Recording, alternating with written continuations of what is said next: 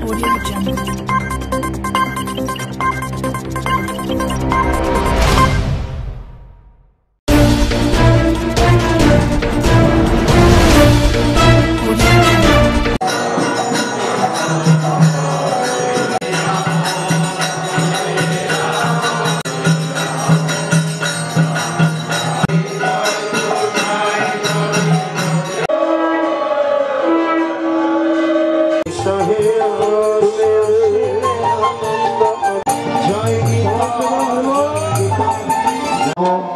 হরিবাসরে যাব।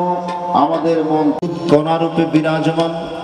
আপনি যে কোনো মন্দিরের মধ্যে ঠাকুর বিশেষভাবে অবস্থান চঞ্চল হয়ে যায়। যে না আমরা গীতা বা করি। চলো রে মন জনার্দন